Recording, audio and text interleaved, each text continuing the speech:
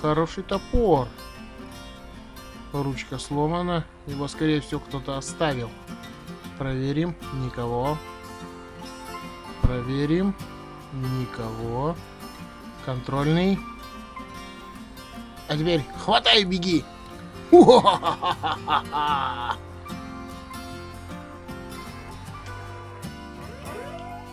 Итак, давайте осмотрим наш топор.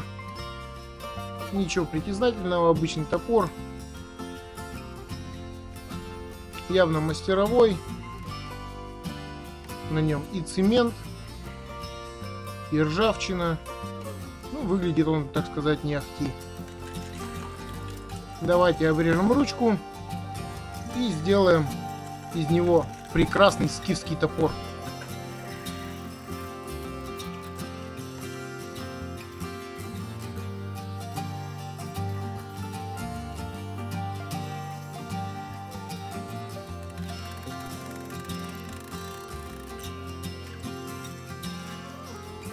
Итак, после удаления ручки возьмем проволочную щетку и слегка зачистим его от цемента и посмотрим, как он выглядит.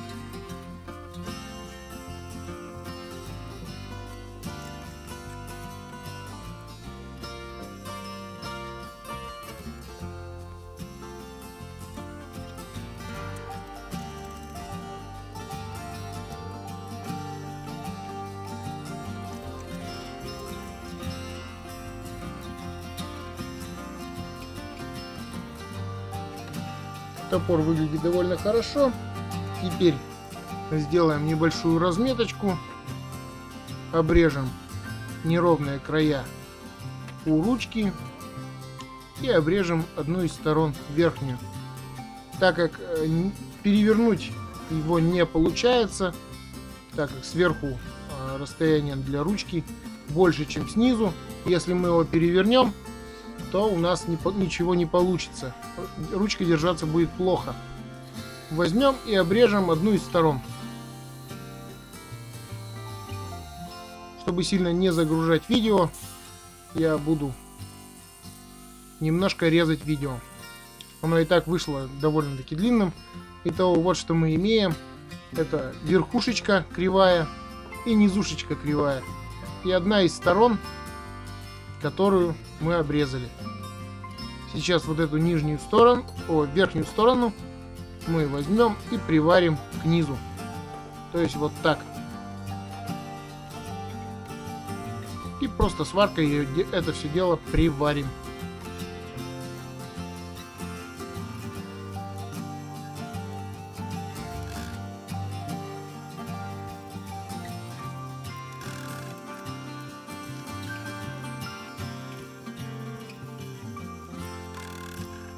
После того, как мы приварили сваркой металл на топоре, он у нас сейчас в напряжении, поэтому его надо опустить.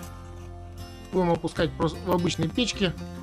То есть забросили в горящую печь, он у нас потихоньку сам остыл.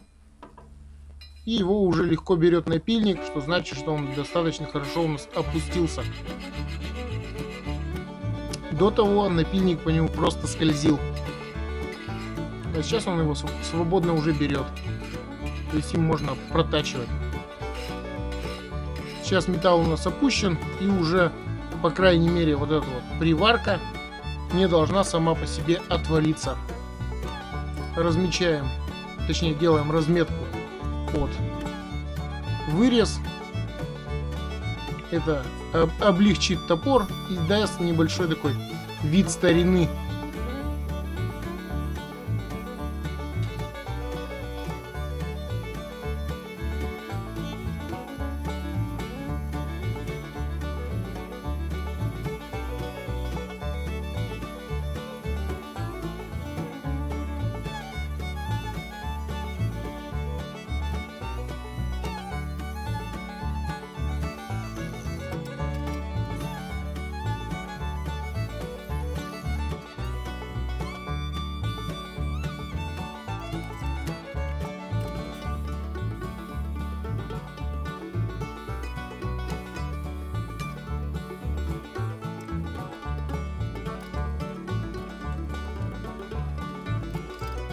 Что-то мы выкусываем и высверливаем. Ой, высверливаем. Вырезаем. А все остальное мы уже сошлифовываем. Берем обычный шлифовочный круг. И все это, все это дело вышлифовываем до, нужного, до нужной нам формы.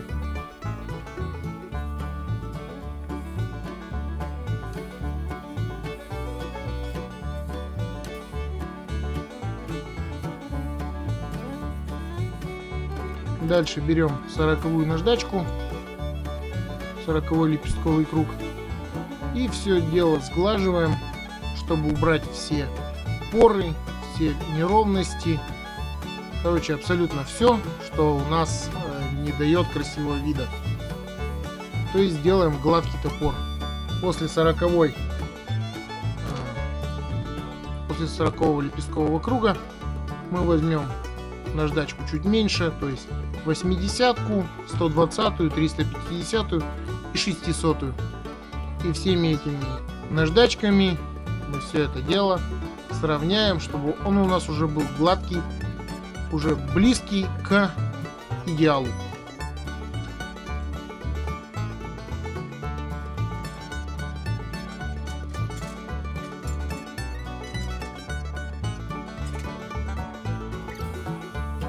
Для чего мы так сильно вышлифовываем топор? Чтобы как только мы его закалим, у нас не оказалось, что после начатия шлифовки у нас окаж... выявятся какие-нибудь раковины глубокие или еще что-то. А так мы уже полностью вышлифовали топор, он у нас гладкий, остается уже 1200 и 2000 наждачка. Ей уже невозможно э, нацарапать какие-то большие царапины выявить большие раковины. Ну, то есть все.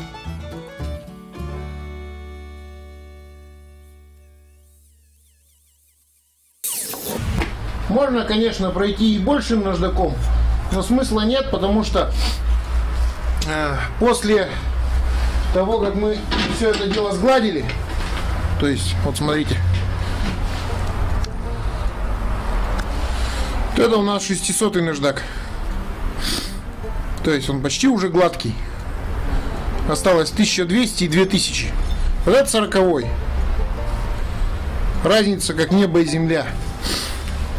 После того, как мы все это сделаем, выгладим его полностью. То есть с этой стороны тоже, с этой, с этой. Со всех сторон мы его загладим. У нас будет наноситься рисунок. А потом мы его будем закаливать. И после закалки все равно придется все проходить заново но уже, допустим, не с 40 а с 350 просто уже уголь содрать и снова загладить. Ну что, давайте наносим рисунок. Будем наносить вот такой вот рисунок, простецкий. Ну давай, камера, фокусируйся.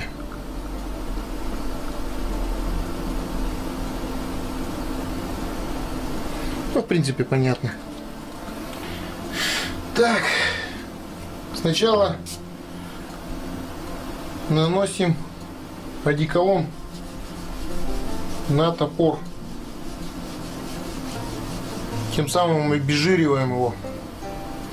Потом наносим на нашу на наш рисунок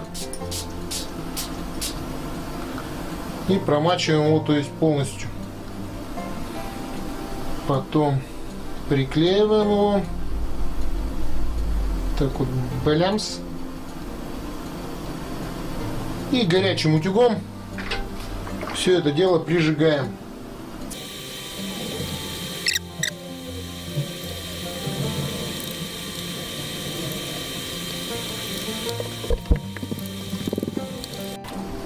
Когда вы видите, что у вас, короче, рисунок высох, наносите снова одеколон. И снова проглаживаем. Точно так же.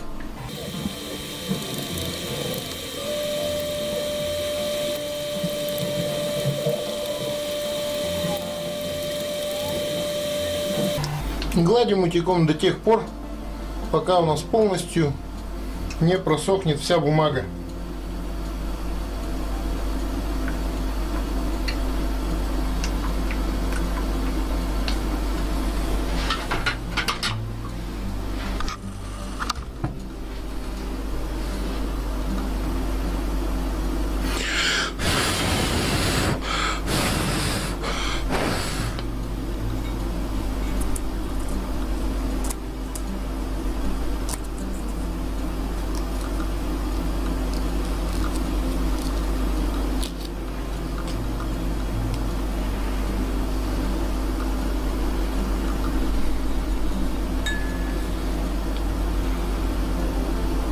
То есть вот у нас весь рисунок, он отпечатался.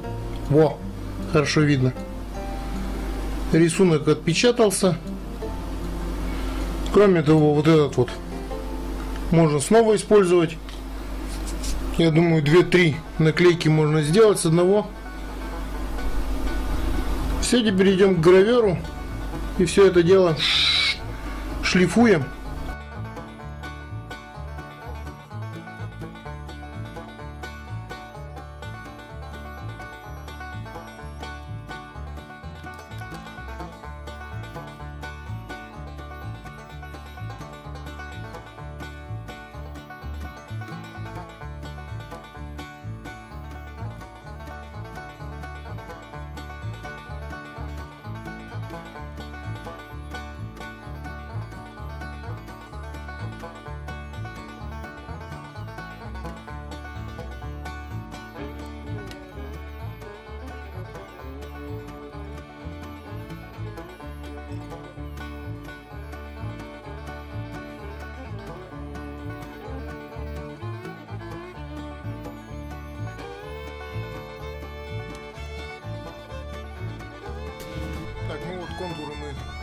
Слегка прорисовали.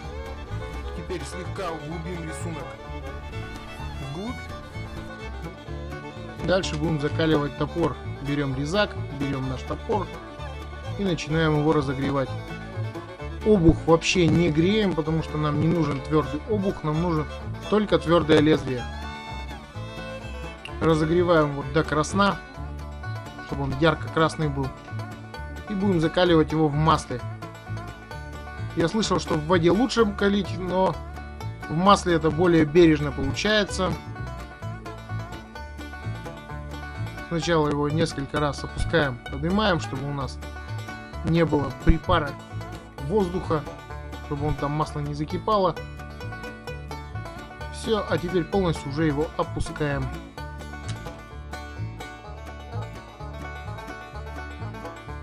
Все после этого, после нашей закалки уже его не берет напильник, то есть он снова по нему просто скользит.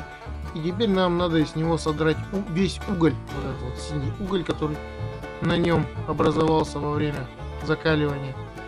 Берем снова 600 наждачку и все это дело обдираем.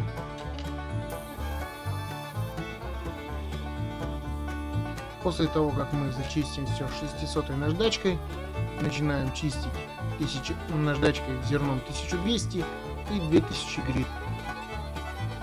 После чего топор у нас уже будет выглядеть довольно-таки блестящим, но не зеркальным.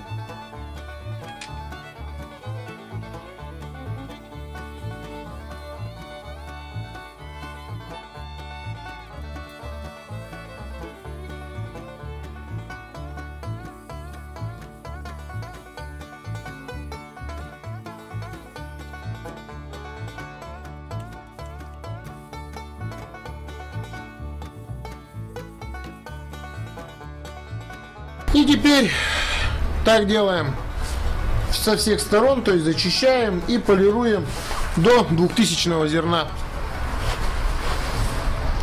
Итак, после того, как мы прошли весь топор целиком до 2000, нажды... до 2000 наждачки, то есть он полностью у нас уже гладкий, полированный. Дальше будем полировать пастой Гоя.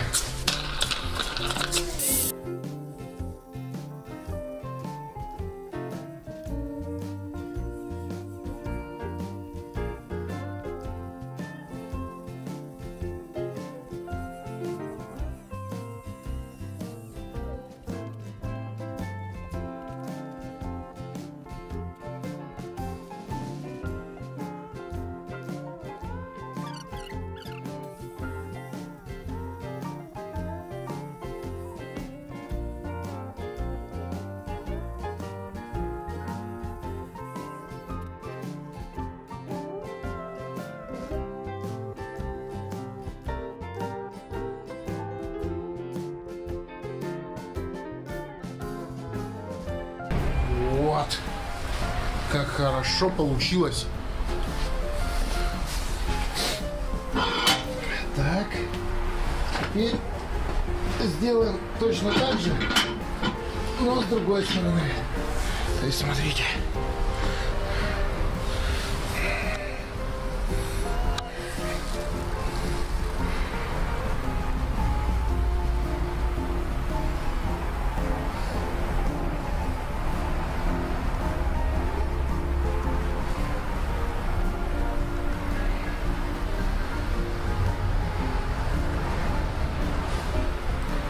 Это другая сторона. Здесь просто двухтысячный. Двухтысячная. И паста Гоя. Так. Давайте пройдем вторую сторону.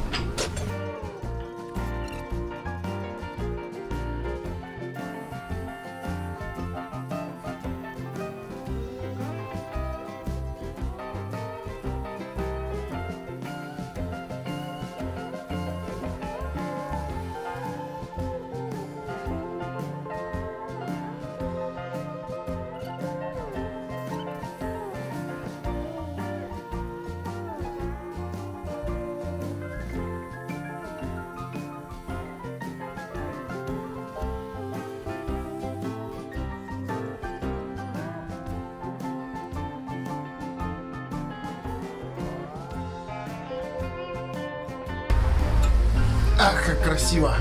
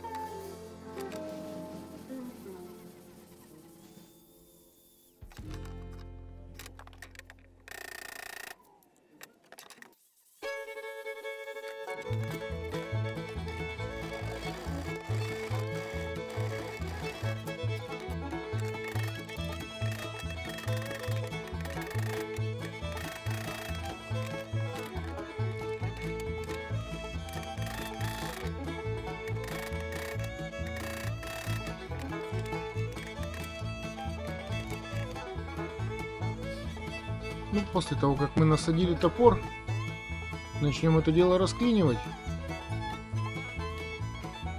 Довольно-таки хорошо у нас насажен.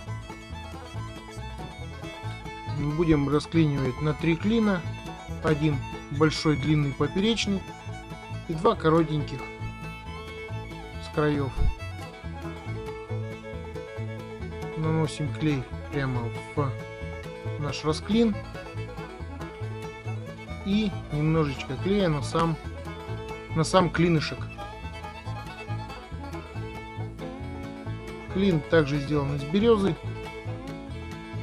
То есть сюда немножечко клея и сюда немножечко клея. Все это дело у нас, когда схватится, будет уже не разорвать. То есть клин в принципе больше не вытащить. Забиваем и забиваем вторые, еще два маленьких. Потом это все дело, когда высохнет, обрезаем. Но смысла показывать это я не вижу.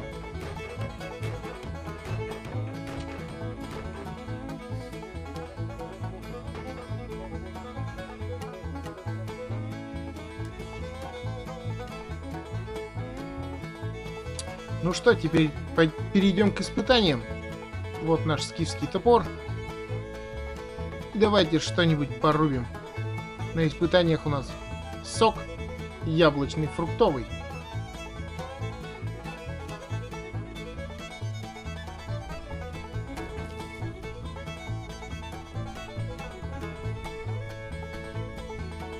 Как мы видим, где прошел топор, там чистый ровный срез.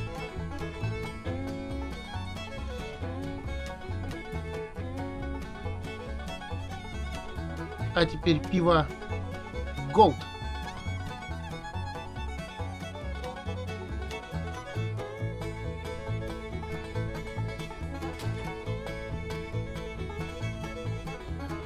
Правда, я не подумал, что надо что-то положить, чтобы топор не пролетел насквозь.